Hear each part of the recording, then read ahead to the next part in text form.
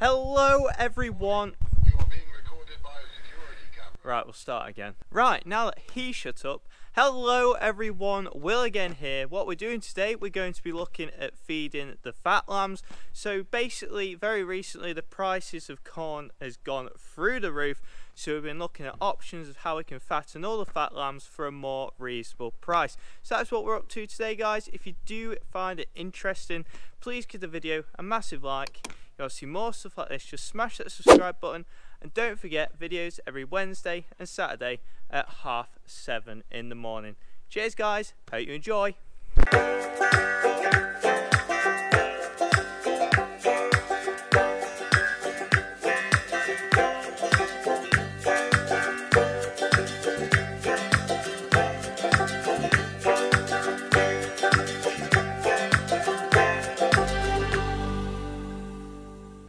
Guys, so let's get into it and explain exactly what I'm going to be doing today. So basically, as a lot of you know what the channel before, when we finish our fat lambs, we usually finish them on a creep mix. But more recently, the price has gone up, so what we're looking at is alternatives to finish the last of the fat lambs. So basically, what I've done here, in Blue Peter fashion, I have three buckets of feed to explain to you exactly what we're doing here on the farm.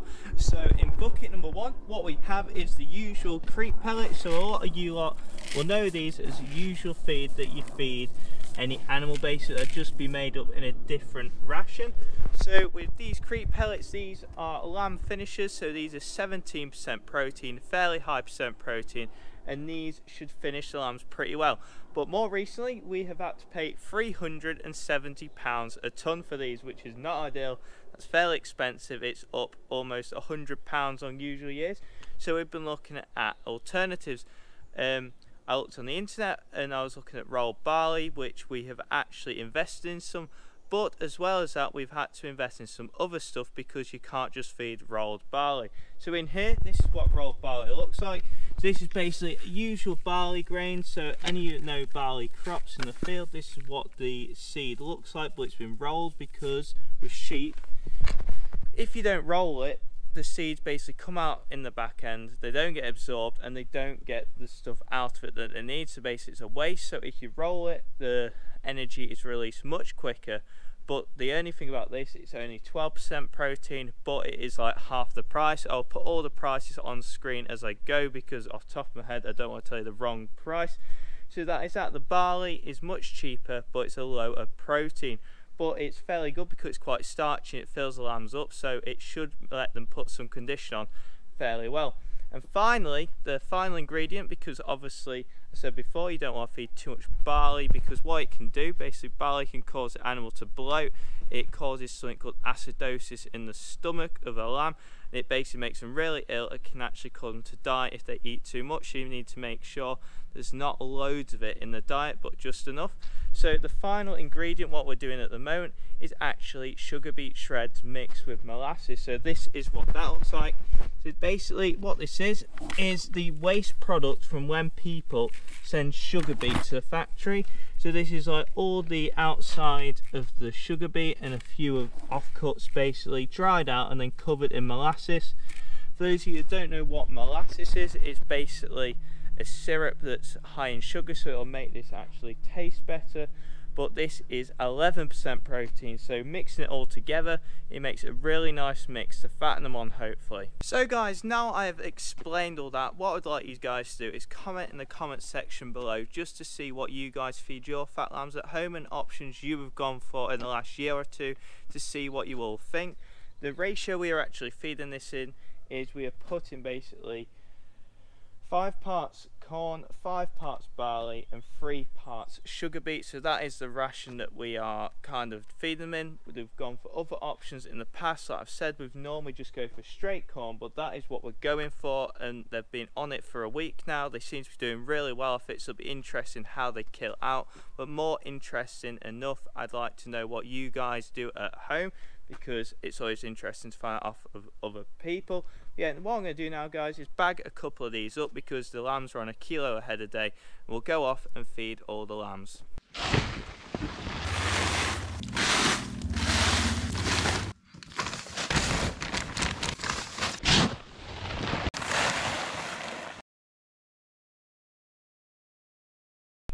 Come on, boys! Come on! Come on, lads! Come on! Come on, come on! Come on, boys, come on! Come on! Come on, boys, come on, boys! Come on!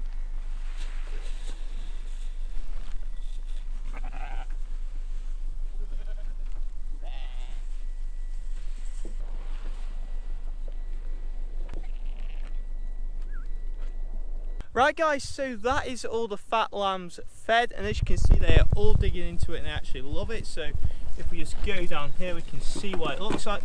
So when I basically tip it out it all mixes up. So this is what it looks like. It's all mixed up now. So you can see the barley, you can see the corn and you can see the sugar beet shreds. They all mix together really well into a nice ration. It's not too dry and they seem to clean it up every single day. So they're on one kilo a day and as I go down them now they're all looking really fit and they're coming on well. They're in a lot better condition than last week, so really happy with how they're looking.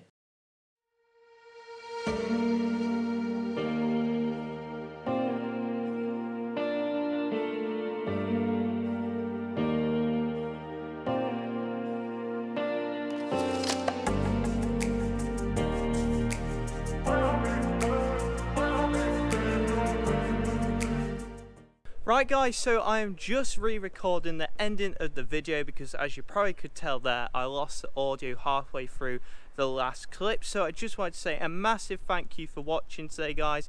If there is any uh, more stuff you can tell me about rations and how I can improve, I'd really appreciate that or what you do at home.